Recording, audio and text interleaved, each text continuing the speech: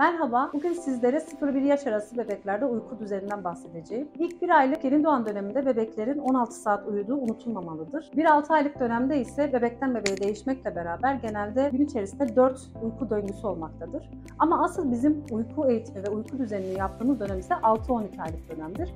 Bu dönemde annenin çalışması, evdeki düzen, anne babanın e, evdeki konumu çok önemlidir. E, çocuğu uykuya geçirmeden önce özellikle rahatlatmak çok önemlidir. Bunun için de banyo, masaj gibi şeyler kullanılabilmektedir. E, bunu yaptıktan sonra eğer gündüz uykusuysa e, ev karartılmalı, perdeler çekilmeli, loş hale getirilmeli.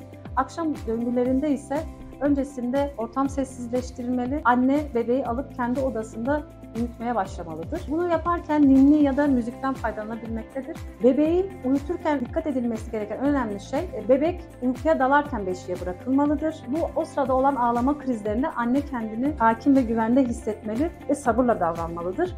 Uyuduktan sonra bırakılan bebeklerde anne ile bebek arasında bir güven problemi olmaktadır ve bebek huzursuz olmaktadır. Bunları yaptığınız halde hala çocuğunuzda uyku problemi varsa, büyüme ve gelişmesinde de bir gerileme ya da duraksama olmuşsa altta bir hastalık yatabileceği unutulmamalıdır. Böyle durumlarda hastanemiz çocuk polikliniğe başvurmanızı öneriyoruz.